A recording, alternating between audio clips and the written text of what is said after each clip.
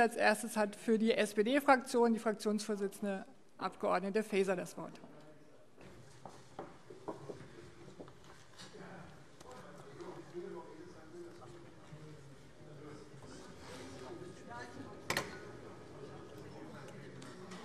Sehr geehrte Frau Präsidentin, meine Damen und Herren! Alle Jahre wieder freuen wir uns auf den Advent, auf Weihnachtsmärkte, auf Heiligabend mit der Familie.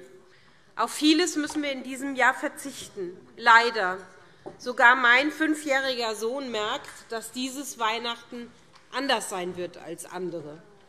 Und so schwer es uns allen fällt, so unverzichtbar sind die Opfer, die wir in diesem Jahr bringen müssen nicht, weil irgendwer in diesem Haus diese Einschränkungen Freude hätte, ganz im Gegenteil, sondern weil sie Leben retten, meine Damen und Herren.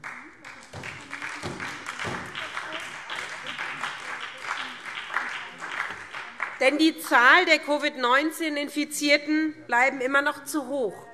Diese Zahlen sind sehr abstrakt, doch die Schicksale, die dahinter stecken, die Folgen sind sehr konkret. Denn die Intensivkapazitäten und das Gesundheitssystem sind schon jetzt sehr belastet. Und deswegen war es vorletzte Woche richtig, weitere Einschränkungen vorzunehmen. Und es ist auch richtig, in Hotspots weitere Maßnahmen vorzunehmen. Und das wird Herr Bouffier auch schon länger von den dort Verantwortlichen gefordert, dass sie dort Unterstützung bekommen. Allerdings ich weiß nicht, Herr Ministerpräsident, ob es klug ist, jetzt vor Weihnachten bis nach Silvester diese Ausgangssperre zu beschließen. Aber Sie haben das alleine entschieden, und dann tragen Sie auch alleine die Verantwortung, meine Damen und Herren.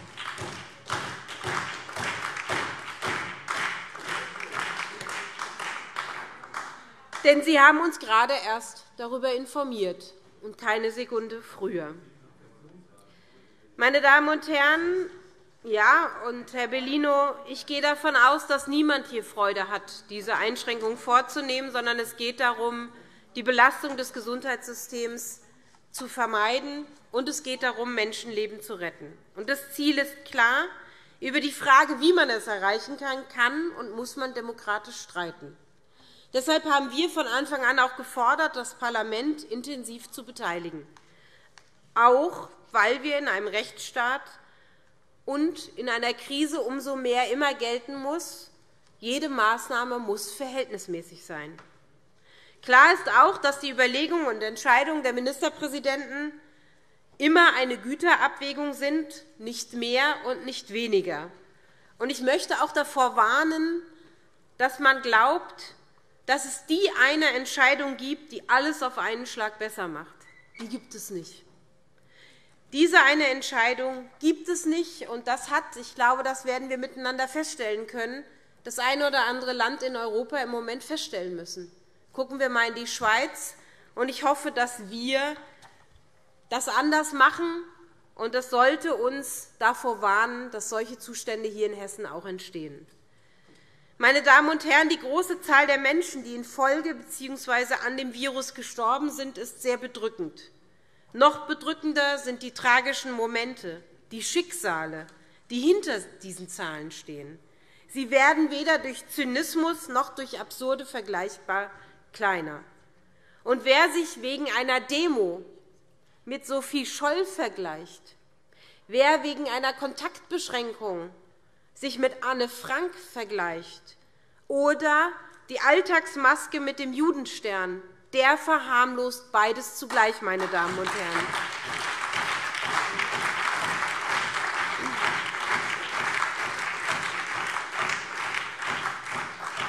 nämlich auf der einen Seite die Menschheitsverbrechen des Naziregimes und das echte Leiden der Menschen in dieser Pandemie. Meine Damen und Herren. Das geht überhaupt gar nicht, und es ist auch unsere Aufgabe, diesem entgegenzutreten.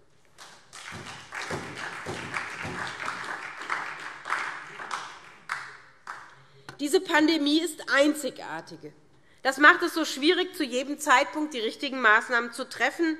Deswegen stehen wir Sozialdemokraten auch hier in Hessen an der Seite der Ministerpräsidenten der Bundesländer und der Bundesregierung, Die Entscheidungen sind schwer, sie haben für und wider. Sie sind manchmal in der erkennbaren Selbsteinschätzung der Ministerpräsidenten aber auch nicht unfehlbar. Das sage ich auch dazu.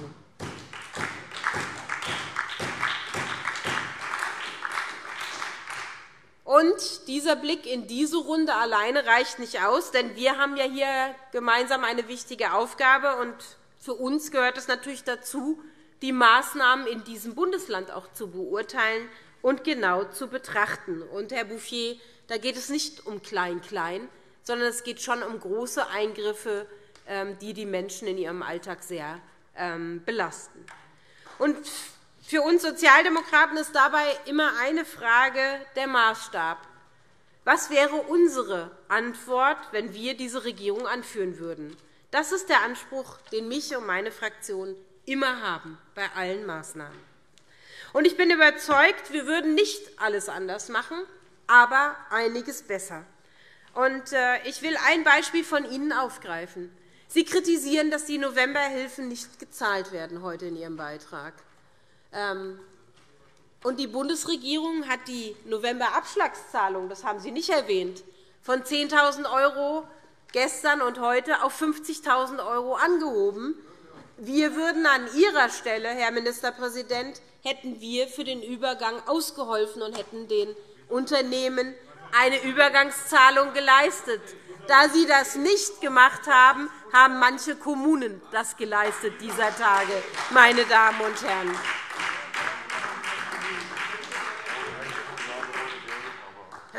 Ja, man kann einen anschreien, aber das macht es in der Krise nicht besser, meine Damen und Herren. In der Krise gehört auch dazu, sich auf die wesentlichen Dinge zu konzentrieren.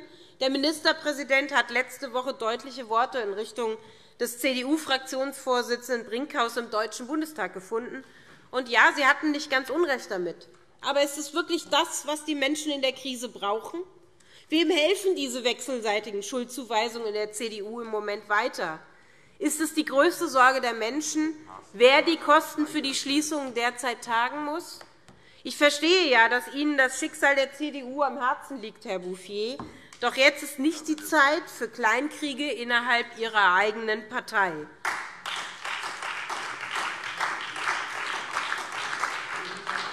Die Frage ist nicht Merz oder Laschet, Bouffier oder Brinkhaus. Die Frage ist für viele Menschen in Hessen in dieser Krise eine ganz andere. Und darum muss es in einem Regierungschef dieser Tage gehen. Nichts anderes, meine Damen und Herren. Und, äh, ich habe es schon gesagt, der Bund nimmt zugegebenerweise sehr viel Geld in die Hand und während der Pandemie denjenigen zu helfen, die von Schließungen betroffen sind.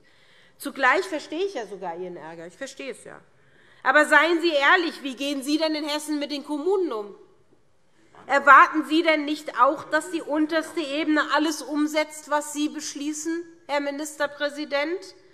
Die Erwartungshaltung an die Gesundheitsämter sind das beste Beispiel, und nun die Impfzentren, meine Damen und Herren. Die beantragten Zulassungen für Impfstoffe machen uns allen große Hoffnung. Deutsche Wissenschaftler waren damit mitverantwortlich, dass wir diese Hoffnung bekommen haben. Wir sind stolz darauf, dass der Impfstoff von BioNTech sogar in Marburg produziert wird. Das zeigt, dass unser Land es schaffen kann, auch diese Krise zu meistern. Die entscheidende Botschaft ist aber, dass internationale Zusammenarbeit zum Ziel führt, wo nationale Alleingänge versagen. Wir haben eben nicht den nationalen Reflexen nachgegeben, wie jetzt in Großbritannien, sondern wollen im Rahmen einer Impfstoffallianz helfen, damit auch die Menschen in anderen Ländern, die nicht diese Voraussetzungen haben, Zugang zum Impfstoff bekommen werden. Das ist gelebte internationale Solidarität, meine Damen und Herren.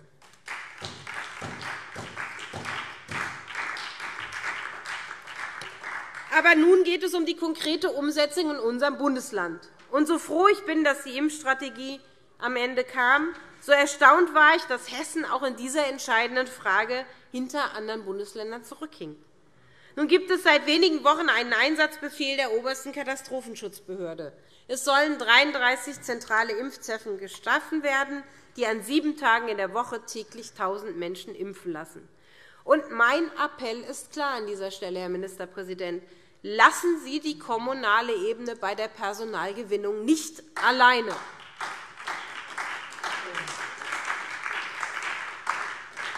Denn dort gibt es viele offene Fragen. Wie viel darf den Ärzten, den medizinisch-technischen Angestellten und den medizinisch-verwaltungstechnischen Hilfskräften gezahlt werden?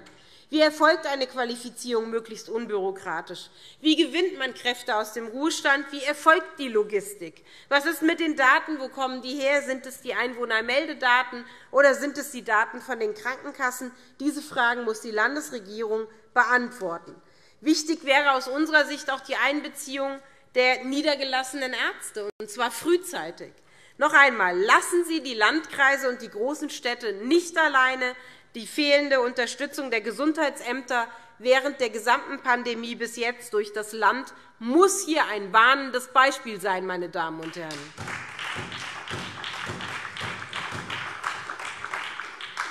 So optimistisch mich die Aussicht auf den Impfstoff stimmt, so nachdenklich macht mich dieser Tage die sinkende Akzeptanz der Maßnahmen. Und damit meine ich nicht die Minderheit, die unter dem Banner selbstgenannter Querdenker gemeinsam mit Neonazis und Reichsbürgern auf die Straße gehen. Ich meine ganz normale Bürgerinnen und Bürger. Und ich bin überzeugt, wer Maßnahmen befolgen soll, muss sie zuerst einmal kennen, und er muss sie auch verstehen. Erklären Sie den Menschen, warum diese Einschränkungen notwendig sind, warum alle ihre privaten Kontakte einschränken sollen. Erklären Sie, warum Maske und Abstandsregeln wichtig sind, warum es richtig ist, sich impfen zu lassen. Und das ist doch das Entscheidende dieser Tage. Sie müssen es wirklich erklären, und es geht nicht darum, wieder Werbekampagnen für Herrn Bouffier, für Herrn Al-Wazir und Co. zu machen. Was wir nicht brauchen, ist eine weitere steuerfinanzierte Werbekampagne, sondern wir brauchen eine echte Aufklärungskampagne für Hessen, meine Damen und Herren.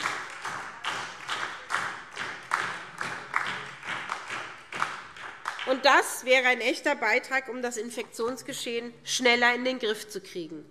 Denn diese Pandemie ist eine Frage der Gesundheit. Sie ist zugleich aber auch eine Frage des gesellschaftlichen Wohlstands.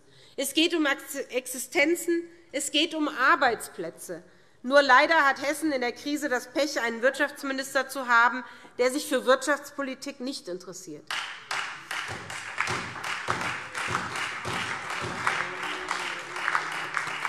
Den Anspruch auf Wirtschaftskompetenz erheben die GRÜNEN aber auch im Gegensatz zur CDU nicht.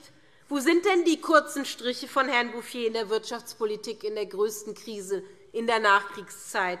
Sie haben wieder in Ihrer Rede zu Corona diesen Bereich völlig ausgespart. Ich halte das für völlig unangemessen, Herr Ministerpräsident. Und deshalb rufe ich Ihnen auch zu, Herr Ministerpräsident, Herr Bouffier, Herr stellvertretender Ministerpräsident, Herr Al-Wazir, machen Sie endlich Ihren Job. Nehmen Sie die Anliegen der Arbeitnehmerinnen und Arbeitnehmer ernst und tun Sie etwas für die Arbeitsplätze in Hessen. Machen Sie ein eigenes Hilfsprogramm für Solo-Selbstständige, für die Veranstaltungsbranche, die Schausteller. Und wenn es nur für den Übergang wäre, das würde schon reichen. Es kann doch nicht sein, dass Sie das völlig liegen lassen, auf andere verweisen, Schuldzuweisungen machen, aber Ihre Verantwortung in dem Bereich im Gegensatz zu anderen Bundesländern nicht wahrnehmen. Meine Damen und Herren.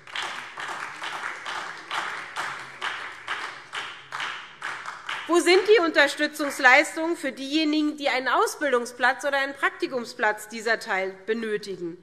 Sie lassen die Beschäftigten hängen. Bei Conti, bei Opel, überall dasselbe Bild. Tarek Al-Wazir sucht man vergeblich. Aktuell bei Opel. Auf der Demo war die SPD-Abgeordnete Kerstin Geis, meine Kollegin, aus dem Haus sonst niemand. Und das sagt schon alles, meine Damen und Herren. Was würden wir anders machen? Was würden wir anders machen? Wir würden an der Seite der Beschäftigten stehen und ihre Arbeitsplätze kämpfen. Doch nicht nur für die Beschäftigten überlassen Sie ihrem Schicksal. Das Gleiche gilt für die hessischen Schulen. Und jetzt haben Sie hier schöne Worte gefunden, Herr Bouffier, um zu bagatellisieren, dass das Infektionsgeschehen doch nicht so groß ist an den hessischen Schulen. Ich halte das für gefährlich dieser Tage. Weil was gilt denn? Haben die Gesundheitsämter denn alle Zahlen oder eben nicht, wenn wir doch feststellen müssen, dass Infektionsgeschehen nicht mehr nachvollzogen werden konnten, sollte das für andere Bereiche auch gelten. Und blicken wir doch noch einmal zurück. Die Vorbereitung nach den Sommerferien war eine Katastrophe. Und danach wurde es auch nicht besser. Wir haben schon vor den Herbstferien gefordert, Frühzeitig hat die SPD-Fraktion ein Konzept für einen Wechselunterricht ab der siebten Klasse auf den Tisch gelegt. Und es wurde einfach ignoriert. Das muss man doch einmal so anerkennen. Lange haben Sie gar nicht reagiert, und dann haben immerhin die Gesundheits- und Bildungsminister der Länder darauf reagiert und haben gesagt, na gut, wenn es die Gesundheitsämter vorsehen, dann dürfen sie es auch machen. Aber Sie als Landesregierung haben lange darauf überhaupt nicht reagiert, meine Damen und Herren.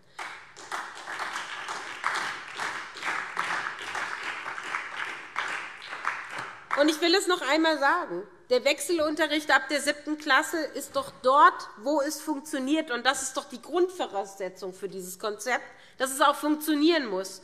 Das soll doch dann dafür sorgen, dass eben strukturierter Unterricht nicht ausfällt. Dafür ist es doch da. Dafür soll es doch dienen. Und da sind wir doch in der Zielbeschreibung gar nicht weit auseinander. Aber der Weg dorthin, das ist doch die Frage, wie man dorthin kommt. Und ich glaube, da kann Wechselunterricht einen wichtigen Beitrag leisten. Und es musste jetzt erst die Ministerkonferenz Ministerpräsidentenkonferenz wieder herhalten dafür, dass wir jetzt ab einer Inzidenz von 200 es endlich anwenden können. Das hätte man schon viel früher in den Hotspots in Hessen machen können. Und dann wäre vielleicht der ein oder andere Unterricht nicht ausgefallen. Und, Herr Ministerpräsident, ich sage es noch einmal. Es geht nicht, dass man sich hier vorne hinstellt und sagt, es fällt nur an zwei Schulen der Unterricht aus. Es geht um die einzelnen Klassen, wo Unterricht ausgefallen ist, was man hätte damit vermeiden können, meine Damen und Herren.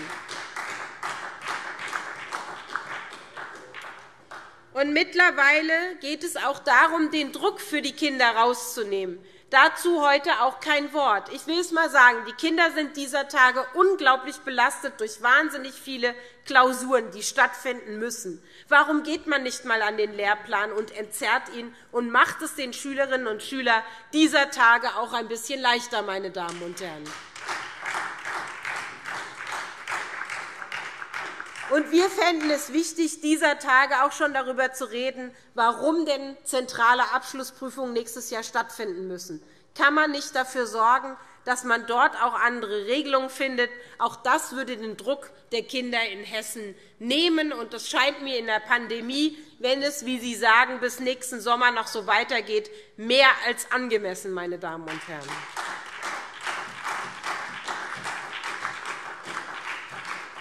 Und Sie haben es gesehen, in Frankfurt demonstrieren schon Schülerinnen und Schüler auch für unsere flexiblen Modelle. Und ja, bevor es jemand sagt, natürlich, wir regieren in Frankfurt mit. Und ich sage es hier trotzdem, weil wir nicht so sind wie andere, die ihre Verantwortung, wie beispielsweise bei der A 49, nicht wahrnehmen in der Regierung. Sie regieren, und dieses Versagen des Kultusministeriums ist ein Versagen der gesamten Landesregierung, meine Damen und Herren. In neun Monaten kann ein Mensch das Licht der Welt erblicken. Eine echte Teststrategie hat die Landesregierung in dieser Zeit nicht hinbekommen. Ich höre jetzt mit Staunen, was alles gemacht wird in Hessen.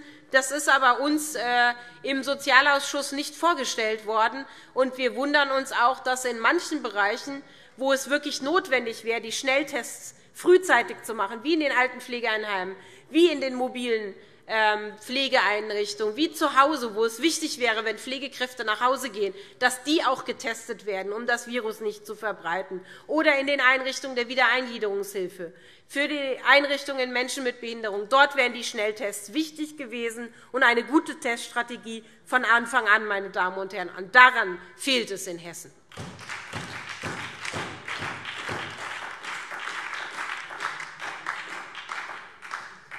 Nun gibt es ja immerhin eine Verteilung von den FFP2-Masten. Drei Millionen habe ich gelesen in Altenpflege- und Wiedereingliederungshilfen. Meine Damen und Herren, warum denn erst jetzt? Warum denn nicht früher? Warum nicht früher? Wir wussten doch, dass die vulnerablen Gruppen dort sind. und Deswegen hätte man auch diese Strategie schon viel früher anwenden müssen. Über eine solch schlechte Performance, meine Damen und Herren, kann ich mich nicht einmal als Oppositionsführerin freuen. Denn es ist, und das sage ich auch noch einmal bewusst, und darüber hat der Ministerpräsident auch nichts gesagt, in diesen Tagen wichtiger denn je an die Schwächsten in der Gesellschaft zu erinnern. Einrichtungen für Menschen mit Behinderungen, Obdachlose, gerade vor Weihnachten Und da ist es auch an der Landesregierung, diese Menschen nicht zu vergessen. Auch sie zu gehören zur Gesellschaft, und gerade für sie müssen wir dieser Tage da sein. Meine Damen und Herren, diese Krise ist eine Zumutung, und sie hat uns als Parlament viele Zumutungen beschert. Eine Lehre muss sein, es ist unverzichtbar, alle Maßnahmen, die Grundrechte einschränken, auf eine breite demokratische Legitimation zu stellen. Es gibt nun eine Rechtsgrundlage im Infektionsschutzgesetz, die wir begrüßen. Auch die Begrenzung der Geltungsdauer für Rechtsverordnungen, die dort festgelegt wurde, auf vier Wochen, finden wir gut. Für Hessen liegen im Umgang mit den Rechtsverordnungen nun zwei Gesetzentwürfe auf dem Tisch. Ich hätte mir sehr gewünscht, dass es da eine gemeinsame Lösung hätte geben können. Schließlich geht es um unser aller Beteiligung. Aber was macht Schwarz-Grün? Sie haben entschieden, dass Ihr Entwurf nun ohne Anhörung einfach so beschlossen werden soll. Das ist der neue Stil in diesem Hause, den wir dieses Jahr beim Schattenhaushalt ja schon erleben durften. Was die Opposition dazu sagt, was externe Experten dazu sagen, ist Ihnen völlig egal. Das ist Ihre Art, in diesem Parlament Parlamentarismus zu führen. Es ist unglaublich und unverantwortlich, damit umzugehen. Ich finde das in diesem Bereich im Umgang mit uns besonders perfide, denn geht es doch gerade um die Rechte von uns allen. Und da hätte man doch zumindest mal einen gemeinsamen Weg suchen müssen. Dass so etwas leider nicht mehr möglich ist, ist bezeichnend für den schwarz-grünen Umgang mit den Parlamentsrechten in diesem Haus, der übrigens bundesweit negativ hervorsticht. Meine Damen und Herren.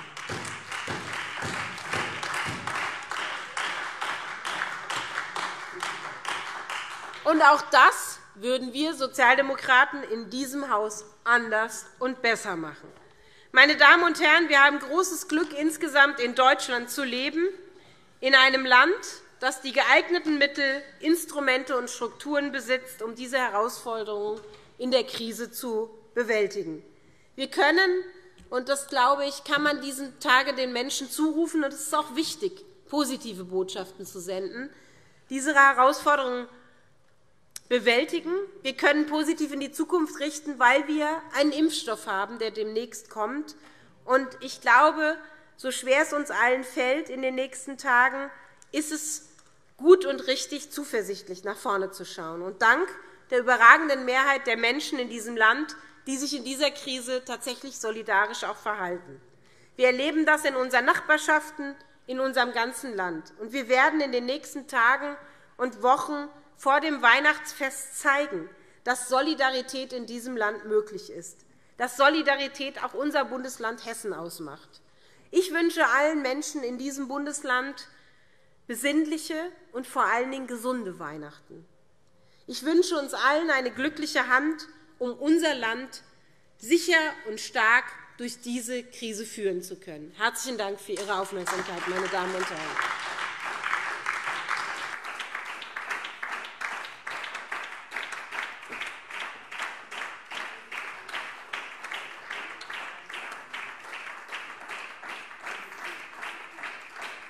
Vielen Dank, Frau Abg. Faeser. Für die Fraktion BÜNDNIS 90 die GRÜNEN hat der Fraktionsvorsitzende Abg. Wagner das Wort. 20 Minuten.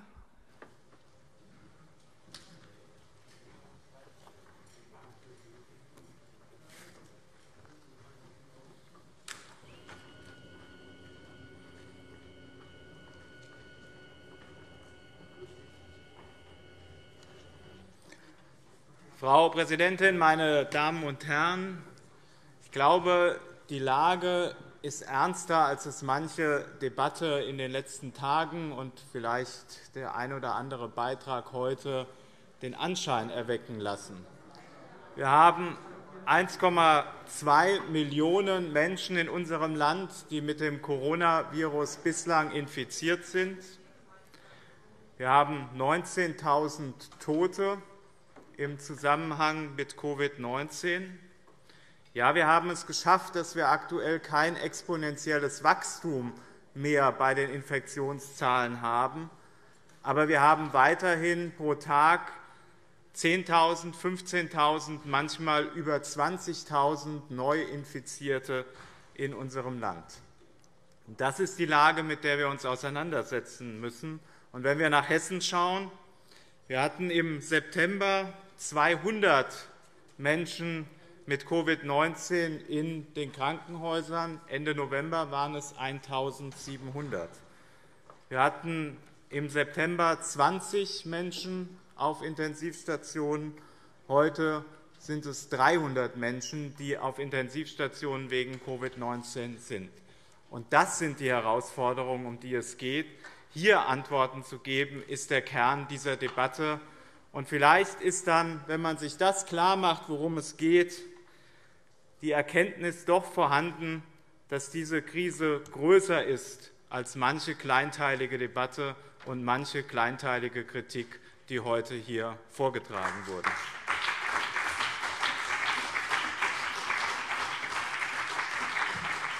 Und vielleicht wächst dann auch die Erkenntnis, dass es doch richtig und notwendig ist, dass alle Bundesländer und die Bundesregierung in dieser Krise im Wesentlichen dasselbe machen.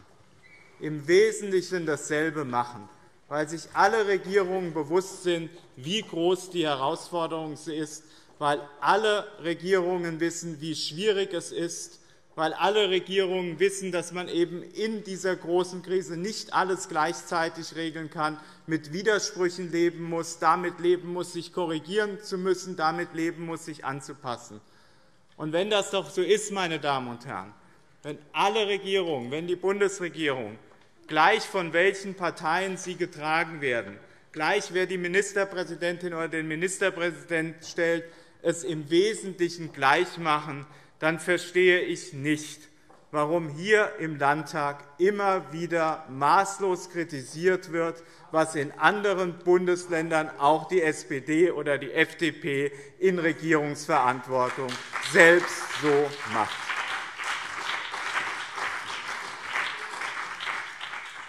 Ich verstehe auch nicht die Debatte um die Parlamentsbeteiligung, weil wir sind bei der Parlamentsbeteiligung nicht auseinander. Übrigens findet die Parlamentsbeteiligung gerade eben statt. Gerade eben findet sie statt, meine Damen und Herren, für alle, die es vielleicht in Ihrer Rede übersehen haben. Es gibt einen Unterschied, und das hat Frau Kollegin Faeser angesprochen. Wir wollen, dass die Parlamentsbeteiligung, dass die Abläufe, dass das Prozedere, dass die Legitimation all dieser Maßnahmen auch in dieser Plenarwoche eine gesetzliche Grundlage findet. Wir meinen das nämlich ernst mit der Parlamentsbeteiligung. Und deshalb wollen wir das diese Woche noch beschließen. Und die Kolleginnen und Kollegen der Opposition wollen das nicht. Sie sagen, die Parlamentsbeteiligung hat noch ein bisschen Zeit. Wir wollen das erst im Februar oder wollen das erst im März beschließen. Und deshalb lassen Sie uns keinen Popanz aufbauen. Wir wollen die Parlamentsbeteiligung jetzt Sie wollen sie gesetzlich im Februar und im März regeln. Der Meinung kann man ja sein, aber erwecken Sie doch bitte keine falschen Eindrücke.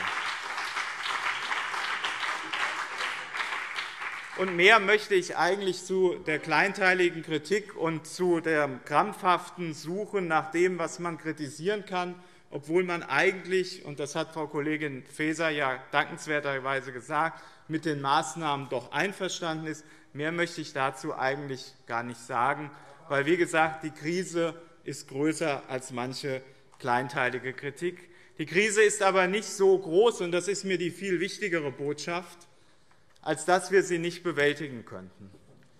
Wir Menschen sind klüger als dieses Virus.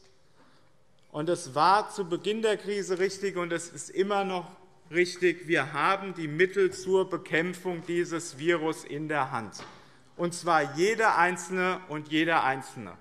Kontakte begrenzen, Abstand halten, Hygieneregeln einhalten, Masken tragen. Das ist das wirksamste Mittel, und es ist ein Mittel, das jede und jeder Einzelne beitragen kann, bevor wir über Maßnahmen reden, die auch die Politik ergreifen muss. Das ist mir ganz wichtig und ganz zentral, weil jede und jeder seinen Beitrag leisten kann.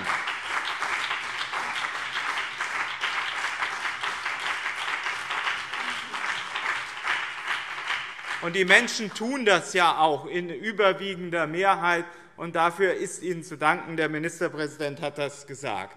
Aber es gibt auch Menschen, die sich nicht daran halten, oder es gibt Situationen, wo man sich nicht daran halten kann. Und dann ist, es, dann ist natürlich gefordert, dass es Regeln gibt. Und diese Regeln in einer Demokratie machen die dafür gewählten Politikerinnen und Politiker.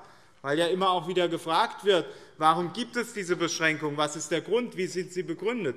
Damit sind sie begründet, dass in einer Demokratie Politikerinnen und Politiker Maßnahmen ergreifen müssen, um die Gesundheit von Menschen zu schützen.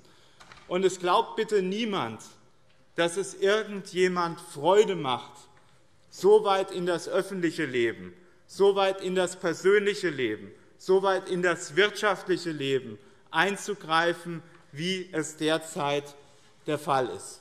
Ganz im Gegenteil, meine Damen und Herren, unsere freiheitliche, unsere vielfältige, unsere bunte Gesellschaft lebt ja gerade davon, dass wir das in Normalzeiten nicht tun. Sie lebt von der Vielfalt, dass es eben nicht geregelt wird, dass es nicht vorgegeben wird. Aber wir leben nicht in normalen Zeiten. Wir leben nicht in Zeiten, wo jeder tun und lassen kann, was er will, weil wenn jeder tut und lässt, was er will, dann gefährdet er eventuell andere.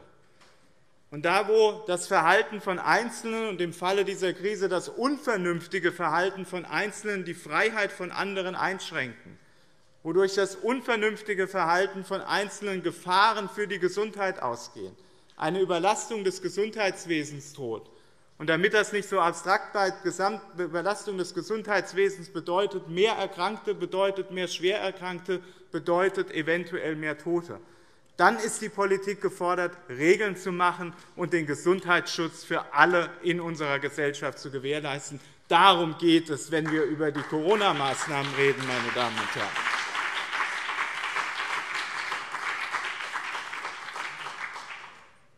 Und deshalb haben wir uns im Frühjahr entschieden, einen vollständigen Lockdown zu machen, weil wir damals weniger über das Virus wussten weil uns das als Vorsichtsmaßnahme angemessen und richtig erschien. Und mit dem, was wir damals wussten, war diese Entscheidung auch heute noch nach meiner Überzeugung richtig. Wir haben uns jetzt seit November und bekräftigt durch die neuen Beschlüsse der Konferenz der Regierungschefinnen und Chefs von Bund und Ländern dazu entschieden, einen Teil-Lockdown zu machen, in der Hoffnung, dass die begrenzten Eingriffe dazu führen, dass wir das Infektionsgeschehen unter Kontrolle bekommen. Und das war eine bewusste Entscheidung.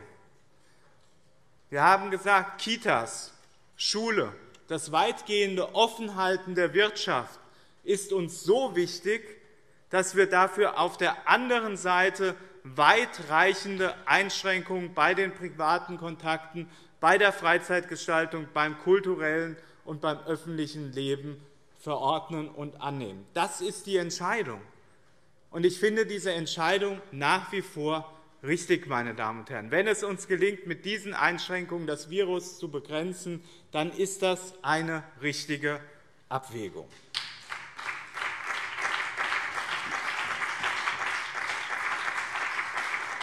Und über diese Abwägung kann man selbstverständlich diskutieren und man kann selbstverständlich anderer Meinung dazu sein. Nur eines sollte in der Debatte keinen Platz haben, dass die Existenz des Virus geleugnet wird und dass der Eindruck erweckt wird, dass die Menschen, die sich um den Gesundheitsschutz der Bevölkerung kümmern, dass die sich dieses Virus ausgedacht hätten. Es darf nicht Ursache und Wirkung verwechselt werden. Ursache für all die Maßnahmen ist das Virus und der Gesundheitsschutz der Bevölkerung und nichts anderes. Meine Damen und Herren. Das muss klar bleiben. Und wer sagt, er findet die ergriffenen Maßnahmen falsch, der muss bitte schön auch sagen, was ihre oder seine Alternative ist. Es reicht eben nicht aus, in einer Frage, wo es um den Gesundheitsschutz der Bevölkerung geht, einfach zu sagen, so nicht. Die Entscheidungen, die Abwägungen sind mir zu schwierig. Ich finde, diese oder jene Auswirkungen, und das sind gravierende Auswirkungen, die diese Einschränkungen haben, ich finde die zu weitgehend. Ja, sie sind weitgehend. Aber wer diese Position vertritt, meine Damen und Herren, der muss dann auch sagen, was seine Alternative ist. Es reicht nicht zu sagen, so nicht, sondern dann muss man auch sagen, wie dann will man die Pandemie verantwortlich bekämpfen.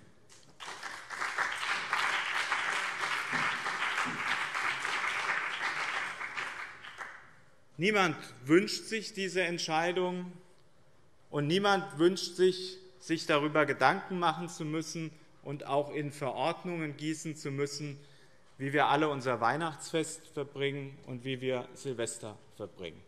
Niemand wünscht sich das. Warum ist es trotzdem notwendig? Es ist trotzdem notwendig, weil gerade Weihnachten und Silvester Anlässe sind, wo viele Menschen zusammenkommen. Und wo viele Menschen zusammenkommen, kann sich das Virus weiter verbreiten. Und das ist der Grund, weshalb wir uns auch von der Politik und in Verordnungen Gedanken machen, wie wir die Zahl der Kontakte begrenzen. Und deshalb finde ich, ist es auch hier eine verantwortliche Entscheidung, die die Regierungschefinnen und Chefs von Bund und Ländern getroffen haben zu den Regelungen für Weihnachten. Auch hier war es wieder eine Abwägung. Ja, es gibt die reine Lehre, die sagt, aus epidemiologischer Sicht am besten gar keine Kontakte. Aber wir Menschen sind soziale Wesen. Wir Menschen wollen uns begegnen. Wir wollen unsere Liebsten sehen, gerade an Weihnachten. Und deshalb musste auch hier eine Abwägung getroffen werden zwischen alles ist möglich, sehr viele Kontakte sind möglich und gar nichts mehr ist möglich. Und der Weg, der gefunden wurde, ist, glaube ich, der richtige, zu sagen, wir wollen zwischenmenschliche Begegnungen ermöglichen, aber in einem begrenzten Rahmen. Und auch hier gilt wieder, meine Damen und Herren, Politik macht Vorgaben, gibt Orientierung, weil auch viele Menschen fragen, wie sollen wir es denn machen? Wie ist es denn richtig angesichts dieser weltweiten Pandemie? Aber auch Regeln, weil sich einige unvernünftig verhalten. Deshalb machen wir diese Regeln für Weihnachten. Deshalb kümmern wir uns darum, wie wir äh, dieses Fest gestalten. Aber richtig bleibt auch, auch an Weihnachten und auch an Silvester, jede und jeder Einzelne entscheidet darüber, wie viele Kontakte stattfinden. Jeder Einzelne, jeder Einzelne entscheidet darüber, dass sie sich auch an den Feiertagen an die Hygiene- und an die Abstandsregeln hält. Und deshalb sind die Maßnahmen, die wir hier politisch ergreifen, wichtig, um den Bürgerinnen und Bürgern Orientierung zu geben. Sie sind wichtig, um diejenigen, die sich nicht an die Regeln halten, zu sagen, so geht es nicht, ihr gefährdet mit eurem Verhalten andere. Aber es gehört auch dazu die Verantwortung jedes Einzelnen und jeder Einzelnen in dieser Krise, meine Damen und Herren.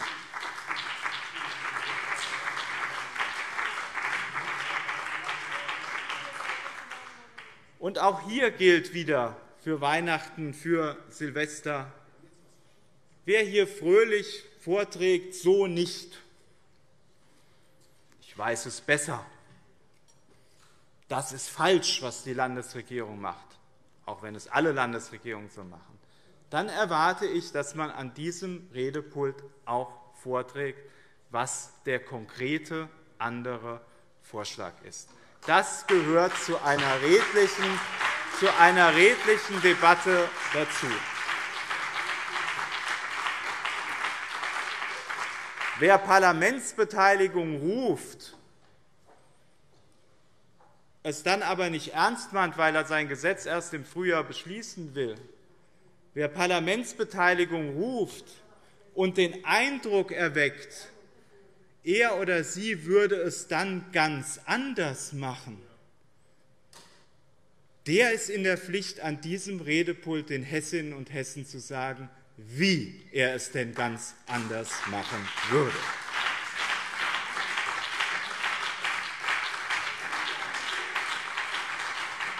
Wir als GRÜNE in diesem Landtag, wir als Koalition würden es nicht anders machen, als die Regierungschefinnen und Chefs von Bund und Ländern es vereinbart haben. Wir finden diese Abwägungen verantwortlich, wir finden sie richtig. Und wir finden es auch richtig, dass diese Entscheidungen regelmäßig überprüft werden. Und diese Überprüfung kann schon in der nächsten Woche zu anderen und zu neuen Ergebnissen führen.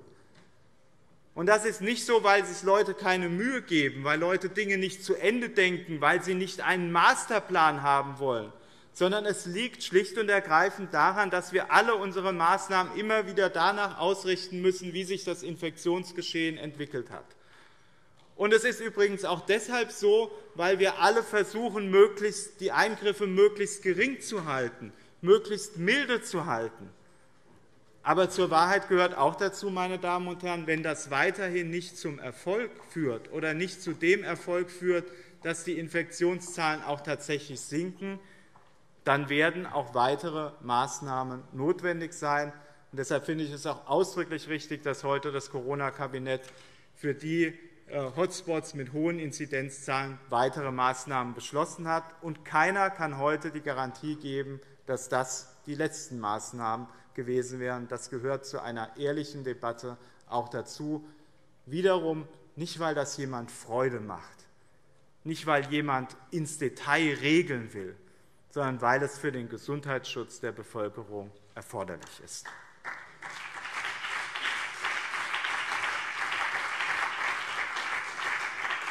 Wir sind nicht in einer Phase, wo wir fröhlich über Rücknahme von Einschränkungen reden könnten. Dafür sind die Infektionszahlen weiter zu hoch. Wir sind in einer Phase, wo wir weiter jeden Tag überlegen müssen, ob wir nicht weitere Maßnahmen ergreifen müssen. Ich fasse zusammen, meine Damen und Herren. Die Lage ist ernster als manche Debatte der letzten Tage. Die Krise ist größer als die kleinteilige Kritik, die wir hier manchmal im Hessischen Landtag hören müssen. Aber die Krise ist nicht so groß, dass wir sie nicht bewältigen könnten. Und deshalb noch einmal mein Appell, Kontakte reduzieren, Abstand halten, Hygieneregel beachten, Alltagsmasken tragen. Das war, das ist das wirkungsvollste Mittel gegen dieses Virus. Ich bedanke mich für Ihre Aufmerksamkeit.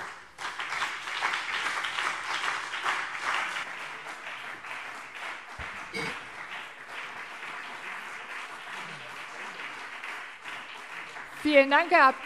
Wagner.